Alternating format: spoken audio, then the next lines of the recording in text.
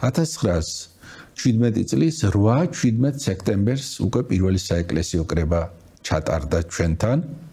458 დელეგატი დაესწრო საერო და სასულიერო. ამ საეკლესიო კრებამ დაამტკიცა მართვა-გამგეობის დებულება. ამ საეკლესიო კრებამ გამოარჩია საეპისკოპოსო კანდიდატები. ეპარქიების რაოდენობა განსაზღვრა 13-14-ით და 17 სექტემბერს ჩატარდა კათოლიკოს პატრიარქის არჩევნები. ამ არჩევნებში ორი კანდიდატი იყო.